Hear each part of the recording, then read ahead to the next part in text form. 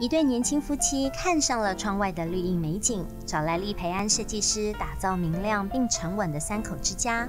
这对夫妻每逢周末就会邀请三五好友至家中做客。要如何放大公共空间的尺度，让小朋友们在客厅中也能尽情的奔跑嬉戏呢？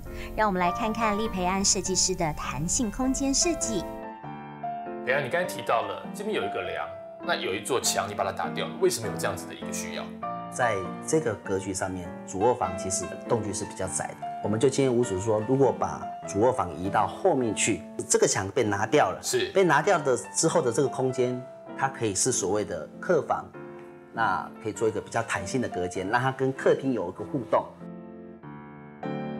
所以原本的客厅的格局的坐向是什么样子？OK，在原本的格局的方面，面对厨房那个地方也是一道墙，那边也是一道墙，没有错。所以我们也大胆建议，在后面的部分也是把做所谓的呃打掉，做一个开放式的空间。哦，原本的客厅餐厅是一字形的，没有错。你现在变成 L 型的，哦，这么大的客餐厅会不会觉得整个房子来说公共空间太大了一些？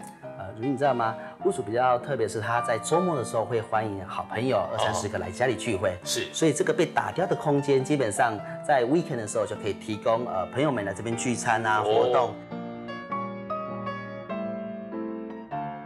有朋友来的时候，对，我们可以让空间就是结合在一起，不会就是局限说哦，可能我们现在就是只有这个空间范围，那大家就是会很舒服啊，像小朋友，呃，有带小朋友来的。也是可以在那边跑跑跳跳，很自由，对。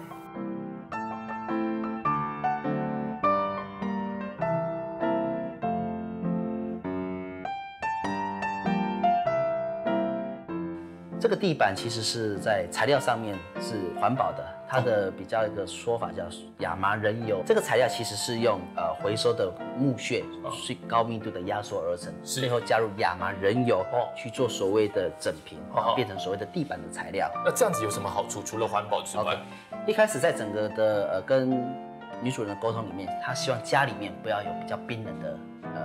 地板的材料，所以这个材料基本上可以让小朋友可以在家里面比较轻易的走，而不觉得那么的冰冷。对，第二个，它的材质是比较环保的，所以如果有烟蒂不小心掉下去的话，它也不会在地板有一个烧一个洞，烧一个洞。哦，而且我这样看起来，单纯的看起来亮亮的，跟亚麻仁有关系吗？